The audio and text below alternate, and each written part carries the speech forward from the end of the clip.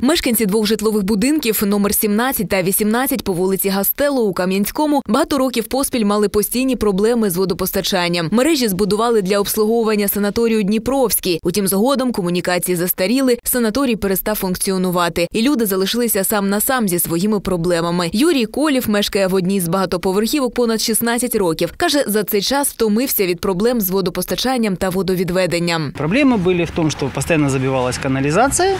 Это основная проблема. Без воды, да, сидели с момента отключения санатория.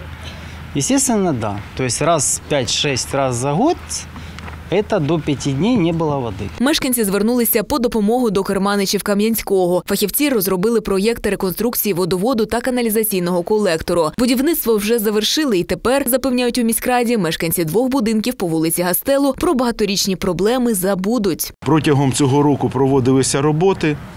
Е, Було заново підключено е, будинки до центрального водопостачання міста, та також е, зроблено збудовано самопливний каналізаційний колектор, який збрасує стоки вже в центральну каналізаційну мережу міста. Протяжність водоводу десь 270 метрів.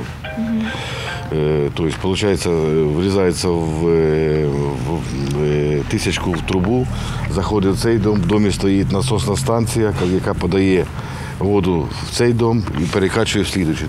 Місцевий мешканець Юрій Колів каже, вже встиг відчути позитивні зміни. Нашего мэра выбрали на второй срок. Не буду говорить спасибо, не спасибо, но скажу, что он на своем месте стоит.